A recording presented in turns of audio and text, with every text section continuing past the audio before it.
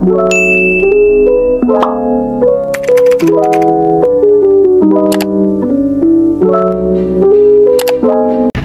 guys, this is Evan Santos. So as you can see, meron tayong unit na ipe-present for this 2023 Expander Cross. So in this video, i-share ko sa inyo yung specifications, prices, discounts, and promo na pwede nyo makakit.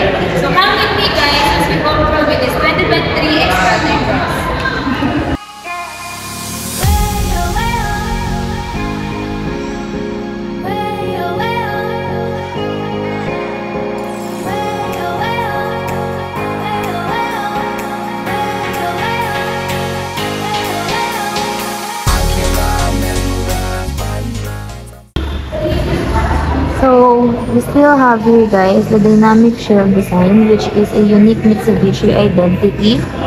Then, dito sa side, kung makikita nyo, meron tayong LED DRL with LED headlights. Then, yung fog lights natin guys is naka-LED na rin. We have here 17-inch two-tone alloy wheels with tire size of 205 by 55 R17. So, yung body claddings niya guys, iba na rin siya from previous expander. Closer look! So, ayan guys, meron tayong integrated turn signal lights. Ayan. Then, yung unit natin is also equipped with smart key entry. So, even nasa bulsa niyo yung susi, kapag pinindot niyo yung button na to, automatic mag-on yung unit natin. So, eto guys, pag open natin, yan yung bubungad sa atin. Ito yung interior ng kanyang unit. Yung ating unit. But before that guys, let's check what's under the hood. So, open lang muna natin siya.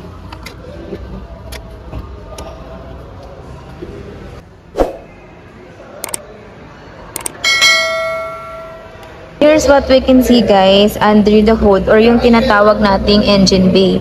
We have here 1.5 liter 4 inline 16 valve double overhead camshaft with MyVec technology. So MyVec technology guys provides more power, better fuel efficiency and less emission. So here's the interior guys. Ayan. Then kung makikita natin dito, equipped siya ng mga soft interior pads. Yan, yun ang controls natin for the windows and yung ating uh, lock and unlock buttons. Navy blue soft interior pads. So I forgot to mention guys that this unit is, is also equipped with sound insulating and laminated windshield. So ayun. So we have here guys 8-inch LCD meter cluster. So ayan siya. As you can see guys, we have here four-spoke leather wrap steering wheel. So yung steering wheel natin guys is same na siya sa Montero and Strada. Then equipped na rin po pala siya ng dual SRS airbags. Bali sa, pas sa driver and passenger seat. So yan, meron din tayong mga controls dito para dun sa info, dun sa meter cluster natin para sa infotainment system. And dito naman sa kabilang side is yung for cruise control. Then, dito naman is yung para sa hands-free button natin.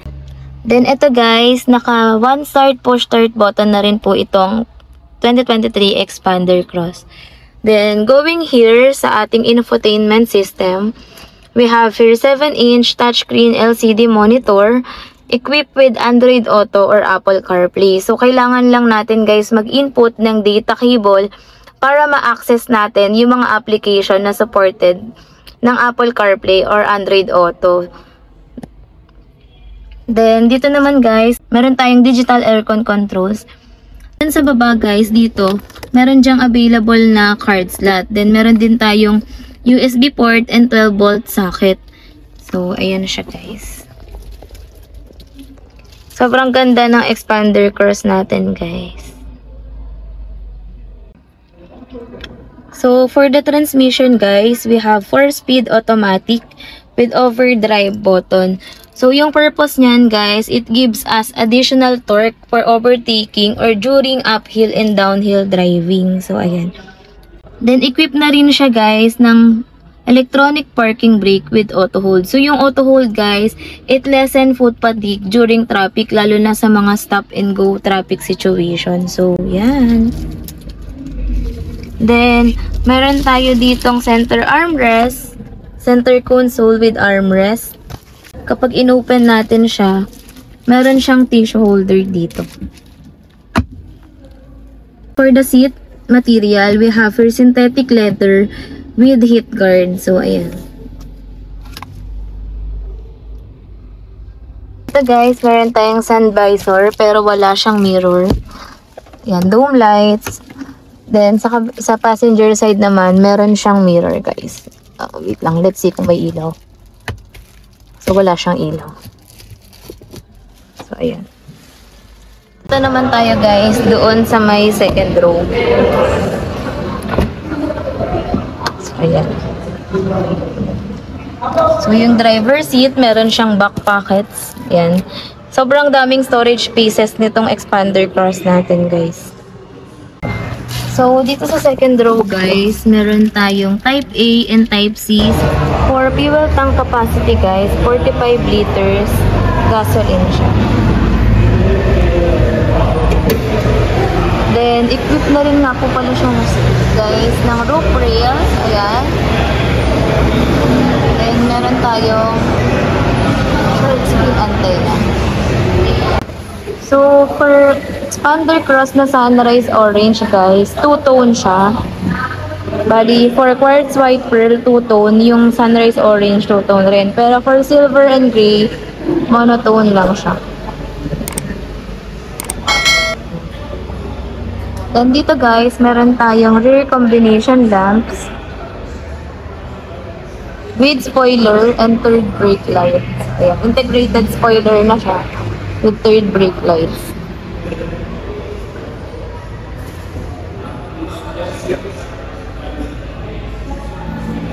Yung unit natin guys, ito siya sa may sa likod. So, yung mga seats is napo full flat siya which is equivalent dun sa tinatawag nilang twin bed mode. So, Ipa-flat ko guys yung dun sa second row para makita natin yung itsura niya while lahat ng seats is naka-flatten.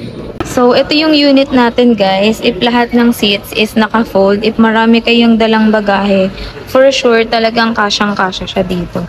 Or meron kayong mga overnights. Talagang good for family to. It, good for family ito ang expander cross. Then, marami siyang storage spaces, guys. Dito, meron pa tayong additional storage. Then, dito naman is yung lagayan natin ng mga tools and jack. Okay. So, sa second row nga pala, guys, meron tayong armrest din dito. So, ayan. Uh, di lang natin siya mabababa kasi naka-plastic pa. So, dito guys, meron tayong tinatawag na seat under tray. So, ayan. Yung maximum na kaya niyang ilagay dito is 2 kilograms. So, if meron kayong mga basang sapatos or gamit, pwede natin siyang ilagay dito.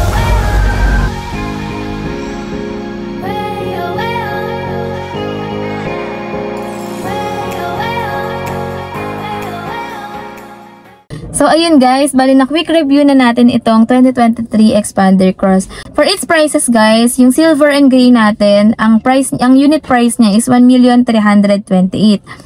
Then for sunrise orange naman, 1,338. Then for quartz white pearl, additional 15,000 tayo guys. So, SRP niya is 1,353. So, yung cash discount for this unit guys is 105,000. Then, for in-house financing sa mga monotone, yung down payment natin is 82,000 with monthly amortization of 26,945. Then, for RCBC approval guys, meron tayong promo na 45,000 down payment with the same monthly amortization na 26,945. Then, for two-tone naman guys, yung down payment natin is 85,000 with monthly amortization of 27,148. Then for RCBC approval, down payment natin is 48,000 with the same monthly amortization. So limited lang yung offer namin guys for the RCBC approval. So if depositor kayo or meron na kayong existing approval na naghahanap kayo ng mas magandang offer and maraming freebies, pwedeng pwede nating i-transfer yung approval nyo dito sa dealership namin guys. So if meron akong maling nasabi guys sa video na to, please let me know in the comment section below. So ayun lang guys, if meron pa kayong mga questions, concerns, or ma or unit quotations, pwedeng pwede nyo akong tawagan or a message dito sa contact numbers ko na indicated below or dito sa personal Facebook account ko. Hopefully guys, mabisit nyo ako dito sa dealer namin sa Peak Motors sa Abad Santos. So yung dealer address namin guys is ilalagay ko dito sa screen number 2943 Jose Abad Santos, Tondo, Manila. So ayun lang guys, hopefully isa na po kayo sa mga susunod na clients ko. See you on my next video guys. Thank you so much for watching. Bye!